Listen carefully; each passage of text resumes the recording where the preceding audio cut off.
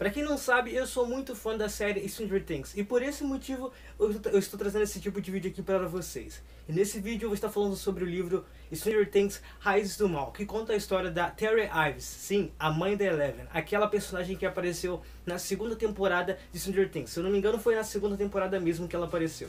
É, veio, veio na minha mente aqui, foi na segunda temporada mesmo que a personagem Terry Ives apareceu. Mas na série ela não teve tanto foco quanto no livro, porque no livro se você quiser saber um pouco mais da história da Terry, é só você comprar o livro. Raízes do Mal é um livro perfeito se você quer saber da história da mãe da Eleven. E não só da mãe da Eleven, eles contam sobre o experimento MK Ultra, sim, o experimento MK Ultra, que sempre foi citado na série, agora também é citado nesse livro, citado mais ainda nesse livro.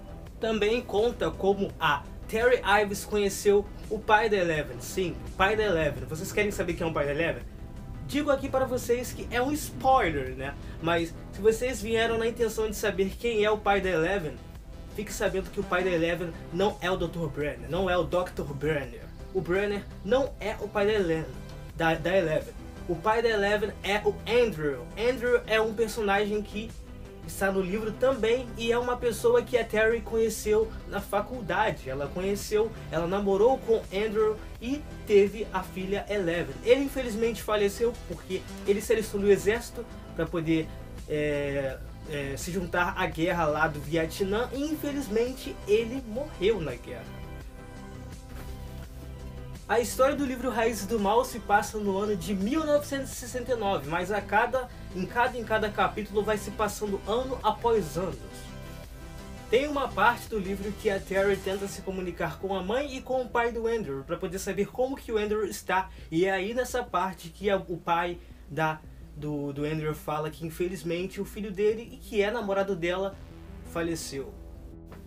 Pessoal, se vocês são fãs da série Stranger Things, eu acho que vocês vão ficar louco pra, loucos para poder lerem esse livro, porque esse livro é para quem é fã e para quem gosta da série. E nesse livro a gente vê muita, nós vemos é, é, a convivência e a, a relação entre o Brenner e a Terry, como eles convivem, como que eles convivem, é, os debates entre eles, porque há muitos debates, entendeu? E é nesse exato livro que é, que, que eles citam a parte que foi, que foi mostrada na série, que é a parte aonde o Brenner ele dá uma injeção na Terry e resgata, resgata não, né? Ele sequestra a Eleven, né? Enquanto a Eleven é só uma bebê recém-nascida. Esse aqui é o livro, esse aqui é o livro Raízes do Mal.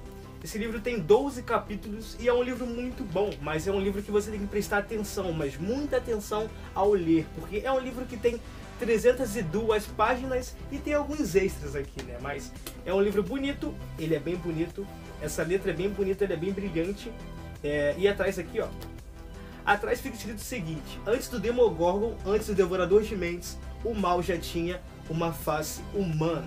Isso querendo dizer que antes do Demogorgon, antes do Devorador de Mente, a face humana seria o Brenner, porque o Brenner ele é praticamente o vilão dali, entendeu? Ele, não, não tem como perdoar o Brenner. Ele é praticamente um vilão. Depois do Devorador de Mente e depois do Demogorgon, o Brenner é um vilão.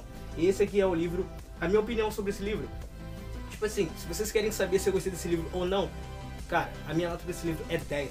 Sem dúvidas. Eu sei que tem pessoas que podem dar menos do que 10, mas pra mim, se fosse para poder pensar do 1 até o 10, eu falaria 10, porque esse livro é muito bom mesmo. Olha só, eu vou abrir o livro aqui para vocês verem. Uh, aqui, olha só. Vou passar um aqui a página para vocês verem que eu não estou louco. aqui, ó. Aqui em cima vocês podem ver que tá meio é, sujinho, só que é do livro. Tipo assim, é do livro. Pra poder... É, aqui, ó. E me perguntaram, olha, Edson, aqui já sujou o livro? Não. Esse negócio aqui, ó, é do livro mesmo. Essa sujeirinha aqui é do livro mesmo. Veio do livro. É, para poder fazer parte mesmo, porque faz parte realmente aqui. Aqui? Raízes do Mal, tudo preto aqui. É um livro muito bonito. E se você quer comprar esse livro, você pode encontrar esse livro na Amazon, na Amazon, porque eu já ia falar Amazon Prime, porque no último vídeo eu gravei sobre esse negócio. Mas se você quiser comprar esse livro, esse livro tem está disponível na Amazon. E eu não sei porque eu estou fazendo propaganda grátis aqui, mas tipo, tranquilo. Quer comprar esse livro? Quer ter esse livro nas suas mãos? pesquisem na Amazon, que foi por onde eu comprei esse livro, que na verdade eu ganhei, né? Eu ganhei. Eu ganhei de presente. Obrigado, madrinha, por ter me dado esse livro. É, isso aí. Valeu. E se vocês pensam que esse livro só citam a Terry, o Andrew e o Brenner, não também cita alguns outros experimentos, que são a número 6 e a número 8, mais conhecida como Eight, a personagem que nós conhecemos lá na segunda temporada. Personagem sim, a personagem 8 faz parte da história desse livro, e a personagem 6 também. A personagem 6 é mais ou menos, mas a 8 também faz parte desse é, dessa história desse livro. Para quem não sabe, a 8 ela tem um poder de fazer as pessoas imaginarem. É tipo assim, é um poder de ilusão é, sim, a 8 ele tem, ela tem um poder de ilusão, é, faz as pessoas verem coisas que não estão ali, faz as pessoas imaginarem coisas assim. E a 6, para quem não sabe, tem o poder de prever o futuro, ela vê o futuro, ela vê o que vai acontecer no futuro com as pessoas e com o mundo, e com o mundo até. E para quem não sabe, a 6 ela tem uma HQ. Ela tem uma HQ que infelizmente ainda não foi disponível aqui no Brasil, mas que assim que for disponível no Brasil, eu vou estar dando um jeito de comprar esse livro. Quer dizer, essa HQ.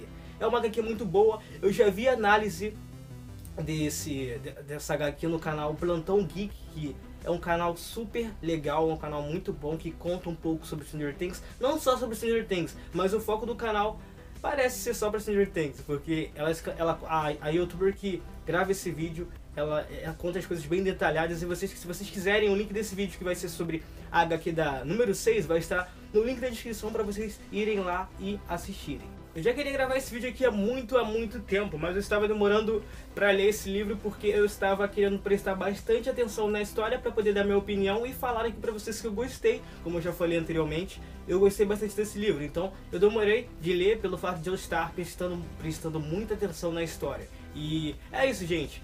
Me desculpem pelo vídeo muito grande, mas é isso. Valeu, quem fala aqui é o Lee Edson com mais vídeo no canal para vocês. Se vocês quiserem mais vídeos relacionados a Stranger Things, é só vocês deixarem nos comentários aí. E deixem bastante like para poder me ajudar se vocês puderem, se vocês gostarem do vídeo. Porque se vocês não gostarem, comentem aí o que vocês querem que eu melhore nesse vídeo. É isso. Tchau. Fui!